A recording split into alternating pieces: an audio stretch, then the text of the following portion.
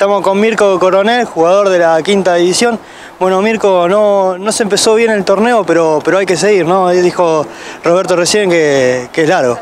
No, sí, sí, satisfecho por lo que hicimos. Eh, eh, dimos lo mejor, lo que estuvimos practicando serían estos un mes y medio más o menos. Eh, nos desconcentramos nomás, pero, pero estuvimos bien.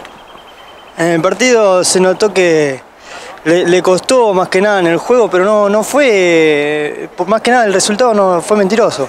el resultado era mentiroso. Eh, tuvimos oportunidades, pero no la aprovechamos. Ellas tuvieron dos y la aprovecharon hoy. ¿Qué cosas pensás que hay que corregir de cara al futuro? Eh, la, la, concentración.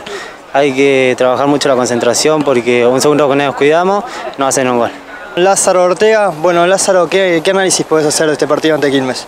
La verdad que fue un partido muy complicado, eh, muy intenso, eh, era mucho por afuera, eh, la verdad que había que pensar mucho el partido, hicimos un desgaste muy importante en el primer tiempo y en el segundo la verdad que, que fueron dos pelotas, dos jugadas que llegaron ellos y la convirtieron.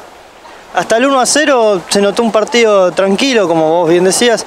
Eh, no había mucha diferencia tanto con Camioneros como Quilmes. Ya en el segundo gol, que, que fue olímpico, llegó de sorpresa, se dividió más, ¿no? ¿Cómo lo viste? Sí, la verdad que el segundo gol fue el que destrabó el partido. En el primero le estábamos llegando, le seguíamos llegando.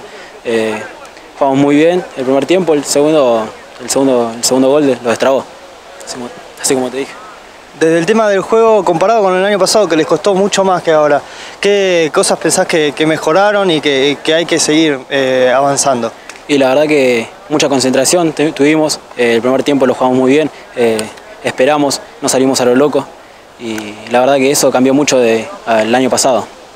Bueno, muchísimas gracias. Gracias a ustedes y déjame mandar saludos a la gente de camioneros y a mi familia.